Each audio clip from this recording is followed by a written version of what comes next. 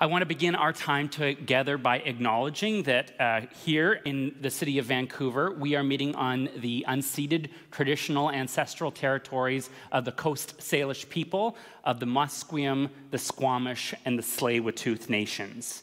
Here in the lower mainland, there were three residential schools St. Paul's Residential School on Squamish territory in North Vancouver, St. Mary's Mission in Mission, BC. Both of those were operated by the Roman Catholic Church.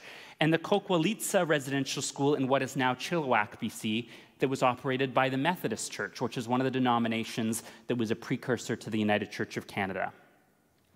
Today is the first Sunday of the season of Lent, which is a, a liminal time in the lead up to Easter where we often think about repentance and sin, heavy words. But we also think about the wrongs of the world and the things that need to be righted.